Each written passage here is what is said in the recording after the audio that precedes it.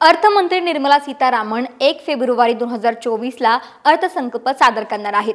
लोकसभा निवडणुकांच्या पार्श्वभूमीवर हा अर्थसंकल्प सादर होणार असल्यानं हा अंतरिम अर्थसंकल्प असेल. एका विशिष्ट कालावधीसाठी उत्पन्न आणि खर्चाची योजना म्हणजेच अर्थसंकल्प.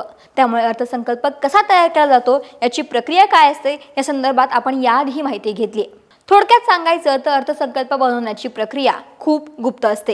इतकी की अर्थसंकल्पावर काम करणारे अधिकारी घरी सुद्धा जात नाही. या सर्व कर्मचारी आणि अधिकाऱ्यांना मंत्रालयातच राहावं लागतं.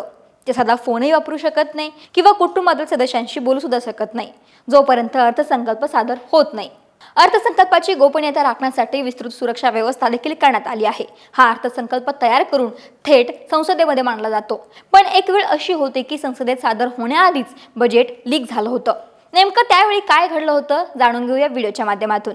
नमस्कार मी अक्षता. सकाळमध्ये तुम्हा सर्वांचं स्वागत. सकाळचं यूट्यूब चॅनल सबस्क्राईब केलं नसेल तर ते आधी करा आणि पुढील व्हिडिओच्या नोटिफिकेशनसाठी बेल आयकॉन प्रेस करायला विसरू नका. साल होतं एकोणीसशे पन्नासचं. स्वातंत्र्यानंतर तिसरं वर्ष. पंडित जवाहरलाल नेहरू पंतप्रधान होते आणि अर्थ खातं होतं जॉन मथाई यांच्याकडे. बजेटची कॉपी तयार होती पण ती संसदेत मांडण्याआधीच लीक झाली. मग काय? मोठा तमाशा झाला. त्यावेळी अर्थसंकल्पाच्या छपाईचे काम राष्ट्रपती भवनामध्ये व्हायचं. पण केंद्रीय अर्थसंकल्प लीक झाला. सुरक्षेमध्ये त्रुटी आढळून आल्या. त्यानंतर मिंटो रोडवर छपाईचे काम सुरू झालं.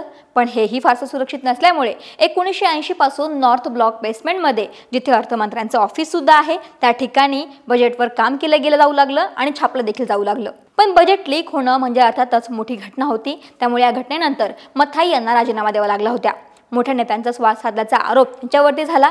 त्यांच्या विरुद्ध निदर्शनं देखील करण्यात आली होती. त्यामुळे मथाई यांना राजीनामा द्यावा लागला. पण त्यानंतर जागा बदलून सुरक्षा आणखीन टाईट करण्यात आली होती. त्यानंतर आजपर्यंत बजेटच्या छपाईचं काम आणि सुरक्षेचं काम अगदी चोखपणे पार पाडलं जातं. तर तुम्हाला ही माहिती कशी वाटली? आम्हाला कमेंट करून जरूर कळवा आणि अशाच महत्त्वपूर्ण माहितीसाठी सकाळच्या यूट्यूब चॅनलला सबस्क्राईब करायला मात्र विसरू नका. महाराष्ट्रातील सर्व बातम्यांचे विश्वासार्ह व्यासपीठ सकाळच्या सर्व सोशल मीडिया प्लॅटफॉर्मला लाईक फॉलो आणि सबस्क्राईब करा. तसंच सर्व नोटिफिकेशनसाठी बेल आयकॉन प्रेस करायला विसरू नका.